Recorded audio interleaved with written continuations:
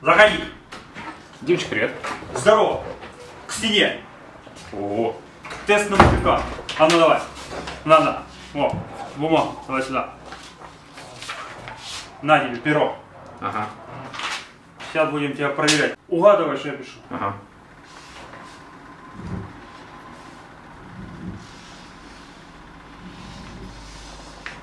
Ага.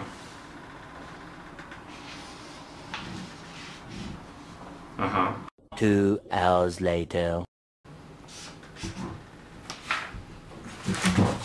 А ну? Иди ко вешке.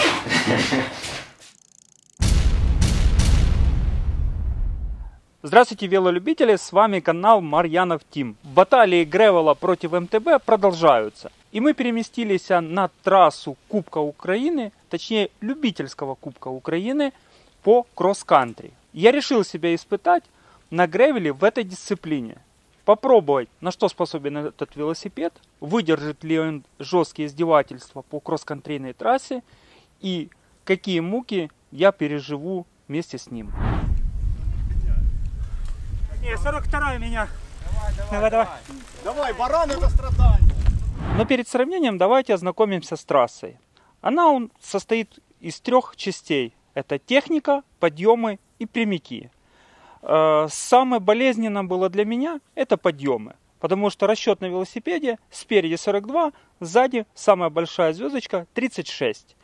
Все подъемы мне давались очень тяжело. Равники это была сказка. Я отдыхал, мог ускориться, мог оторваться, мог... Ну, что хотел, то и делал.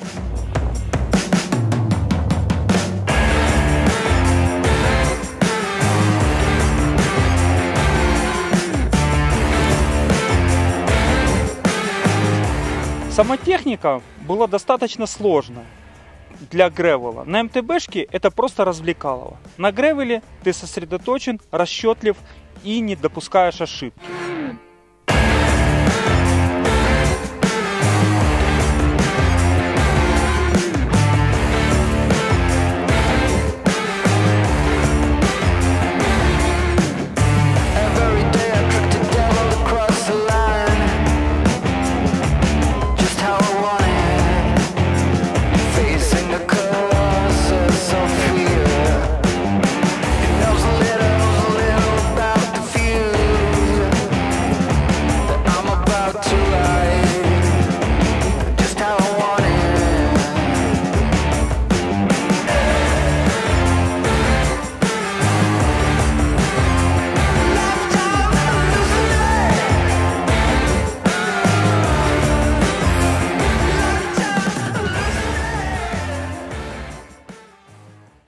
Будем лукавить, э, гревел на этой трассе чувствовал себя отлично. Она достаточно была прямая, не такая трясучая. Было больше трясучки, было бы печаль. Более подробное видео с этой трассой вы можете пройти по ссылочке.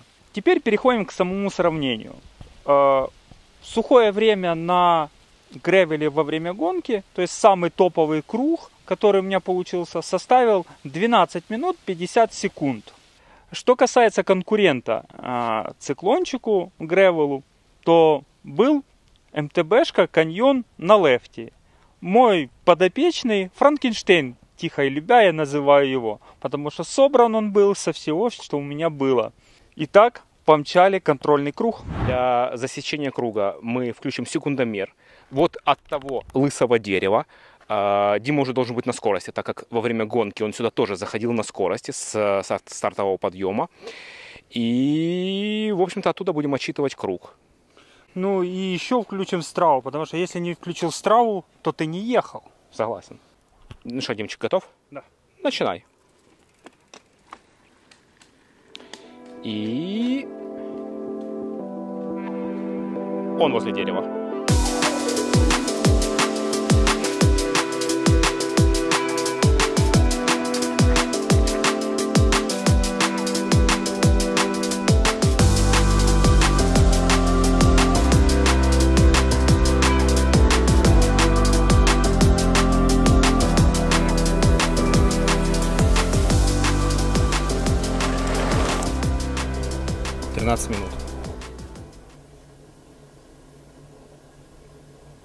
13.03.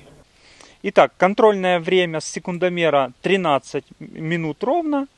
А, По страве вышло 13 с копейками. Ну, это не суть, не важно. В процессе езды спадала цепь.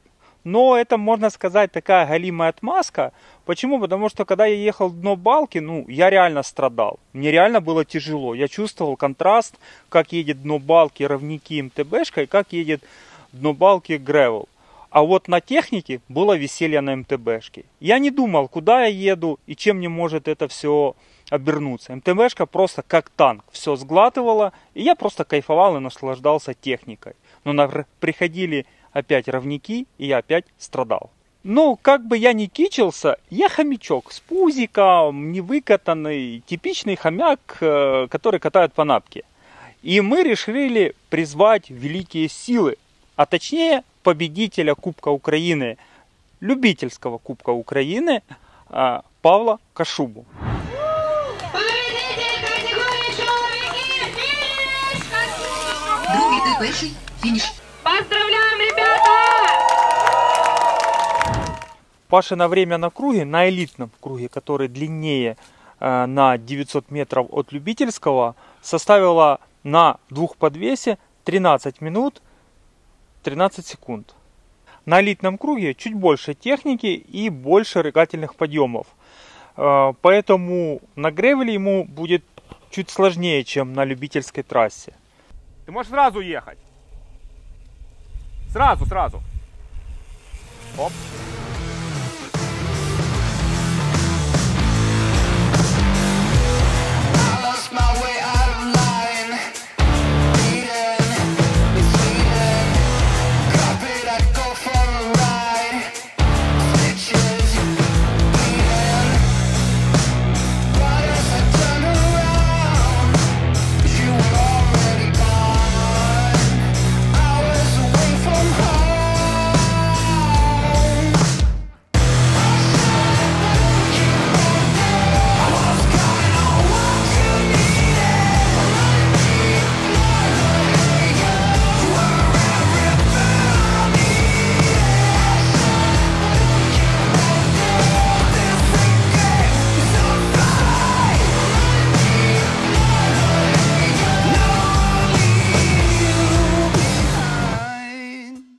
Что ты скажешь по поводу того, где он будет затыкаться, где у него будет? Техника, наверное, кровиник все-таки. Две минуты, а его все нету. Медленно.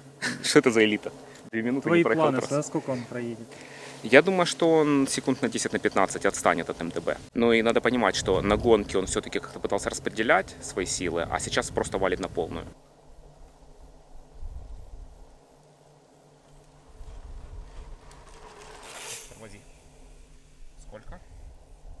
14-13. Паш, ну что, как тебе на гревеле по ощущениям? Как мне нагр- Ну, блин, никак. Э, м, Подвес лучше. Ну, типа, э, не знаю, по, после, когда после хардтейла пересаживаешься на гравийник, э, нормально, типа, ты разницу сильно не чувствуешь, потому что так твердо, так твердо. А после того, как покатаешь пару месяцев на подвесе, чем я, собственно, занимался, то после этого гравийник это вообще не велосипед, он не едет и ужасно.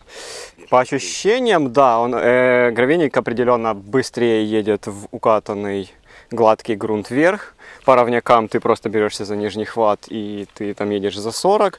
Но как только где-то начинается отрязка, техничка, нужны резкие поворотики, прокачивание, это все гравийник э, неудобнее, ч- э, проигрывает в удоб- в удобстве э, обычному МТБ. Э, Как ты думаешь, насколько ты опоздал от своего времени на гонке? Это мне как бы все равно, типа, ну, я настолько крут, что мне не важно, какое у меня время. Как бы, ну, не Какой знаю. меня вел? А, да, главное, какой у тебя вел и как ты на нем едешь. И не- главное, важно не то, насколько ты быстро едешь, а на то, как ты при этом выглядишь. Во. А, на самом деле, не, не знаю. Ну, ты на минуту отстал от своего времени на гонке на МТБшке. Ага. Ну, печальненько.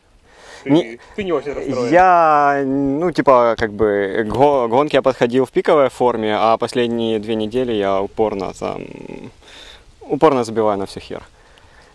Поэтому... И вообще-то я только что, я только спустился с гор, и у меня ни ножки, ни сердечко вообще не, Вот не пошли едут, вот не эти отмазки элиты. Ой. Я устал, Ну, я как болел, бы- я помогал другу с переездом. Что касается самого времени на проезда на гревеле, оно составило 14 минут 13 секунд. То есть он проиграл себе ровно минуту. За кадром Павел сказал, что не сильно старался, но по его внешнему виду было видно, что ему было не переливки. Итак, давайте же подведем итог.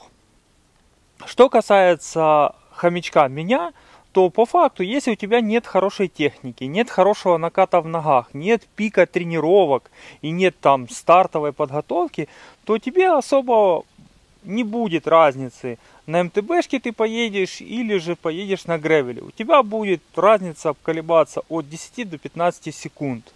Что касается уже элиты, то тут факт налицо. Велик решает многое.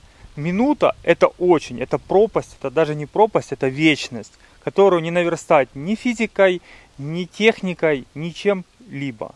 Итак, выбирайте двухподвес, который вам нравится, ой, э, гревел двухподвесный, и катайтесь, будет вам счастье.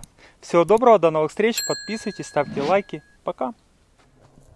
Знаешь, какая разница на этом дропе? Как между говном и шоколадкой. Вот на гревеле, да, все можно, но ты как, ну, не знаю, тут просто и все.